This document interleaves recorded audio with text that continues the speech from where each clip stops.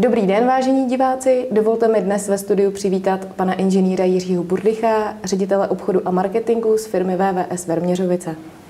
Dobrý den, děkuji vám za pozvání.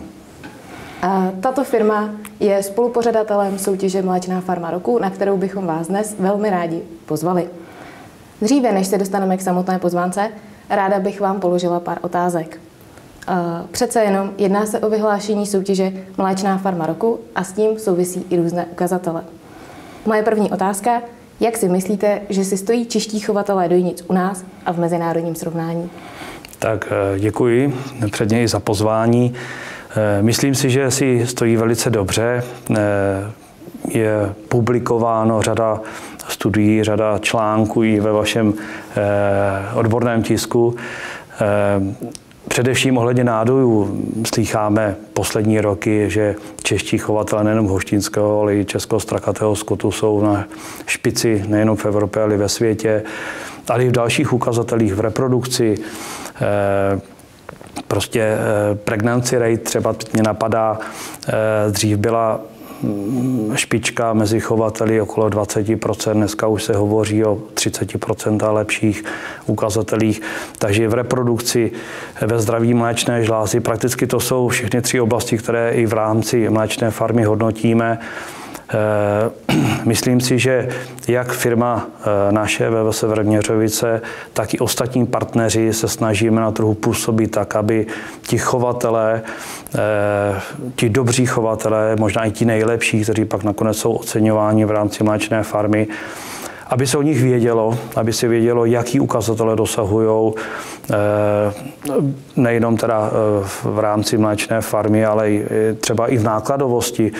Teď mě napadá, že i e, například třeba náklady na krmiva, to je to, co se třeba já osobně, zabýváme se s tím ve firmě hodně, tvoří více jak polovinu nákladů. To je při rostoucích e, cenách vstupu dneska velice významná položka. To znamená, snažíme se působit tak, aby, aby ty úspěšné farmy mohly představit své výsledky těch pět neúspěšnějších farm v rámci mléčné farmy, aby mohlo hovořit o tom, jak pracují, jak fungují.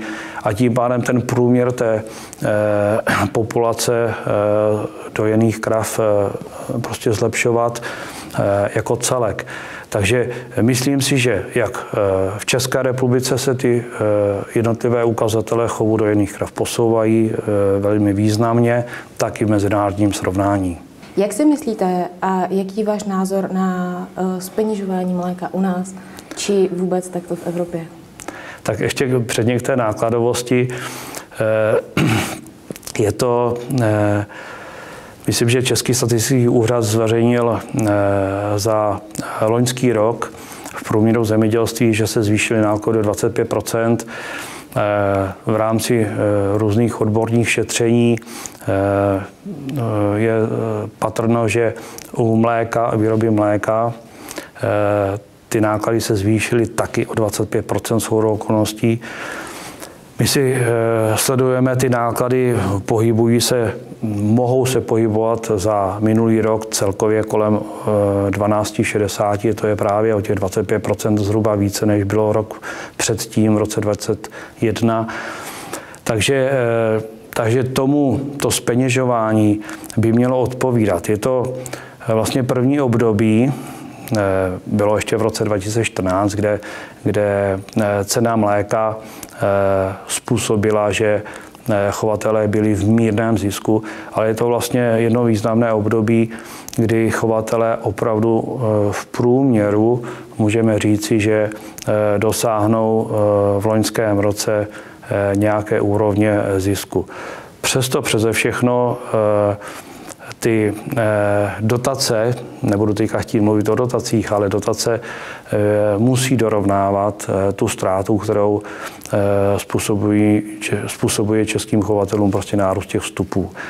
Takže když se vrátím k ceně mléka, cena mléka je, je klíčová pro ziskovost českých chovatelů a mezinárodním srovnání, když to použiju, tak to v Evropské unii jsme na nějakým 18. místě.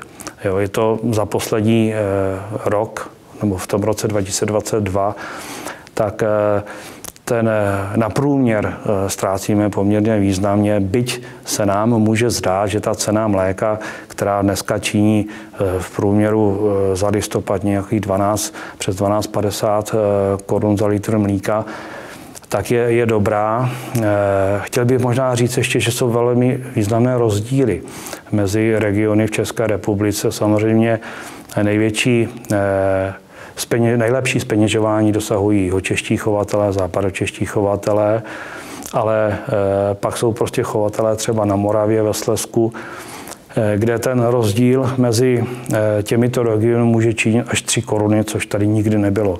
To znamená, eh, určitým motorem růstu ceny je speněžování třeba v Německu nebo v ostatních státech Evropské unie, které dosahují významně vyšší ceny. V tuto chvíli jste velmi hezky zhrnul současnou situaci a minulost. Ráda bych se vás zeptala, jestli máte nějaké eh, výhlídky do budoucnosti, nebo jestli sledujete vůbec eh, vývoj a máte nějaké prognózy, jak by to mohlo vypadat v budoucnosti? Tak musíme, musíme. Každá firma, každá, každý partner této soutěže i nejenom této soutěži sleduje eh, všechny ty ukazatele toho odvětví, kde podniká. My v naší firmě také. Sledujeme si to i z hlediska vývoje cen sušeného mléka nebo syrovátky, která se používá při výrobě mléčných krmných směsí. Když to řeknu, v České republice už zaznamenáváme eh, informace o tom, především ze strany mlékárenského sektoru nebo zpracovatelského sektoru obchodního, že by eh, mělo dojít ke snižování ceny eh, na našem trhu. Já si to nemyslím, protože co víme eh, z těch informací ze světa, tak eh, v Evropské unii dochází, docházelo v loňském roce a dochází a bude docházet poklesu výroby mléka. Jenom samotné Evropské unii, vezměme si například u Německa, který je největším producentem mléka, u nás zhruba vyrábíme něco přes 3 miliardy kilogramů, samotné Německo přes 32 miliard a eh, nebo, nebo Nizozemí 13,7, Francie. Eh, to jsou prostě státy, kde dochází k poklesu výroby mléka. Eh, pokud si vezmeme ten svět, tak jedním z nejvýznamnějších, ať mluvím přesně hráčem na světovém trhu, je Nový Zéland a Austrálie a dochází v těchto státech taky k významnému poklesu výroby mléka. Eh, Spojené státy, Latinská Amerika nikterak nenavyšují významně svoji produkci. Takže eh, z pohledu eh, světové poptávky je tady nedostatek mléka na našem evropském trhu. Ten, ta budoucnost, na kterou jste se ptala, tak myslím, že nahrává českým, českým chovatelům. Je to vidět i proto, proč je o české mléko je zájem ze strany chovatelských vyspělých států na západ od nás.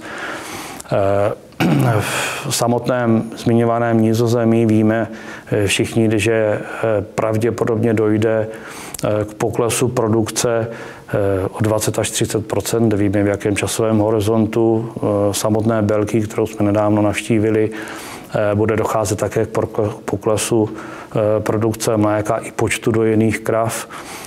Takže, eh, takže si myslím, že ta budoucnost pro české chovatele je, je dobrá. Já vám děkuji za pozitivní hodnocení eh, budoucnosti českého zemědělství, ale vraťme se zpátky k soutěži Mléčná farma roku. Ráda bych se vás zeptala, co od letošního ročníku můžeme očekávat? Eh, co můžeme očekávat, tak určitě velkou účast chovatelů, vás, který, kteří doufám, že se ještě přihlásíte. Máme teď měsíc možnosti přihlašování za sebou. Budeme chtít eh, vás ještě oslovovat i prostřednictvím vašich médií, eh, abyste se přihlásili do konce ledna letošního roku, kdy uzavíráme přihlašování. V únoru bude probíhat vyhodnocování soutěže a v březnu 23. Eh, března vás zveme na slavnostní vyhlášení tentokrát do hotelu Tří věžiček na Jihlavsku, což je tak zhruba uprostřed republiky. A co se týká na co se budeme těšit?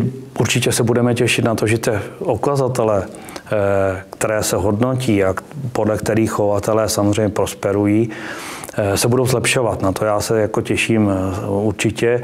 Vidíme to na nádojích, vidíme to na mezidobí, které se zlepšuje, vidíme to na počtu somatických buněk.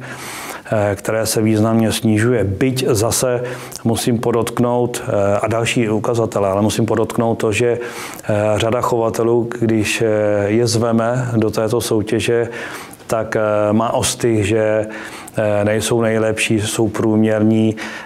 Jenom třeba na příkladu somatických buněk v posledním ročníku chci demonstrovat, že to je pro všechny ta soutěž. Je to od 99 tisíc až po 455 tisíc. Takže to není jenom pro ty nejlepší, je to pro všechny. Samozřejmě, že budeme rádi, když ty eh, dobří i ty eh, průměrní chovatelé prostě se přihlásí určitě. Máme pro letošek nějaké novinky?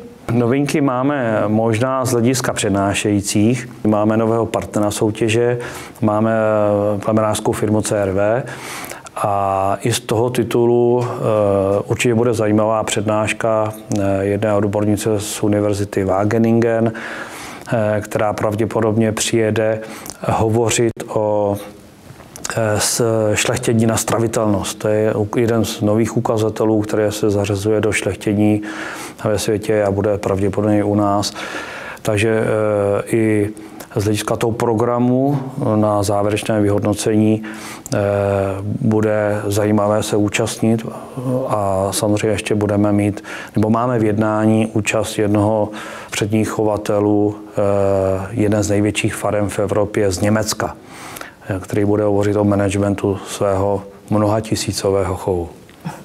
Děkuji vám za krásné zhrnutí, děkuji vám za přijetí hmm. pozvání do našeho studia a doufám, vážení diváci, že se přihlásíte do soutěže Mléčná farma roku 2023. Já také děkuji za příjemný rozhovor.